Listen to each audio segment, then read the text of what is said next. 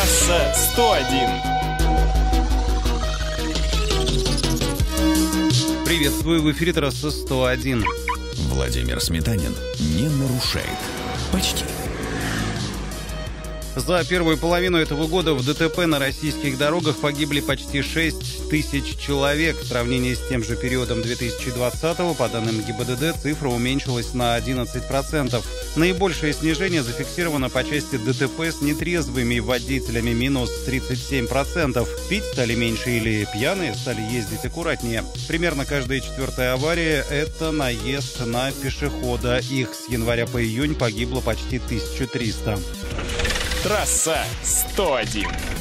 Новые автомобили дешевле уже не станут, говорят эксперты. До Нового года нас ожидает еще череда подорожания, однако она якобы будет не такой существенной, как в первой половине 2021 года. В среднем ценники могут увеличиться еще на 5%.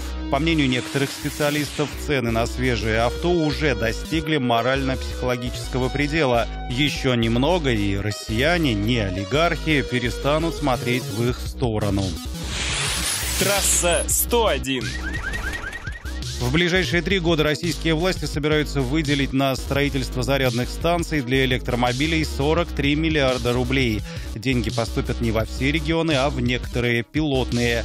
Список появится позже. Также федералы советуют своим коллегам на местах подумать над мерами поддержки владельцев электрокаров. Речь идет в том числе о скидке по транспортному налогу и бесплатной парковке. Трасса 101.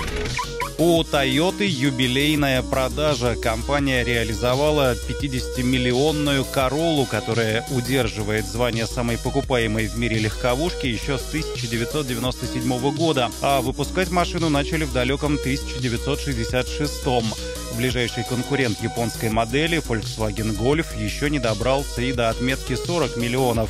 Новая Corolla сейчас стоит минимум 1 миллион 600 тысяч рублей. Она оснащается бензиновым 122-сильным мотором объемом 1,6, механической коробкой передач либо вариатором. Трасса 101. Почти две трети российских водителей верят в автомобильные приметы. Примета номер один, по данным Автомейл.ру, помыть машину к дождю. Об этом знают почти 60% участников опроса. На втором месте суеверия, связанные с птичьим пометом. Но вы знаете, замыкает тройку лидеров соображение о том, что если автомобиль станет свидетелем разговора о его продаже, то он скоро сломается. Самая непопулярная примета – свист в салоне привлекает гаишников. На этом все. Вопросы и комментарии оставляйте на сайте Эхо Кирова. До свидания. Трасса 101.